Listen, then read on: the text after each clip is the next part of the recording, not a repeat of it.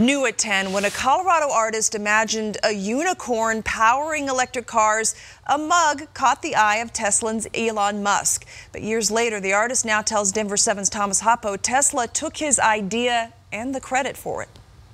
It, it's a David and Goliath kind of thing. If you drive down Rainbow Hill Road, I was 15 years old. I just fell in love with it. you would think it was named because of Tom.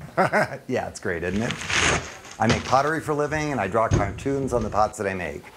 You see, Tom is a creator. My wife will come out and she'll start snuggling with me like on Ghost. And what he made right here in his shop may be his greatest creation yet. The unicorn is farting into a funnel. The funnel is powering an electric car. I thought that would be a lovely graphic to explain the magic. It is a little weird. Absolutely. What isn't? In fact, so creative, it captured the eye of another creator. He uh, put an, a software upgrade into all the Tesla automobiles that featured my exact design. This is the design, and it all came after a tweet from Mr. Musk purchasing Tom's mug. So I was flattered because, like, wow, that's amazing. But then I immediately realized it was copyright infringement. I'm starting to get my rhythm. At first, Tom let it go. How do you fight that? But after it picked up a lot of national attention, Tom decided to take a stand. I found a lawyer who contacted Tesla and are trying to reach a deal and settle.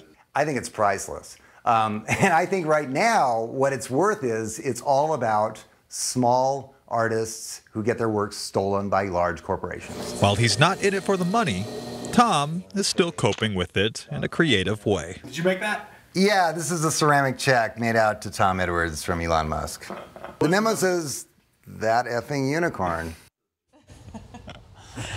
well, you know, Edwards says that his lawyers have been in contact with Musk and Tesla and hopes they can all come to some sort of compensation agreement and acknowledgement for his work. And this is the mug right, right here. here.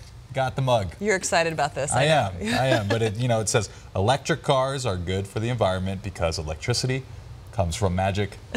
Apparently, that's the magic right the there. The famous unicorns right there. All right, thanks, Thomas. yeah, no problem.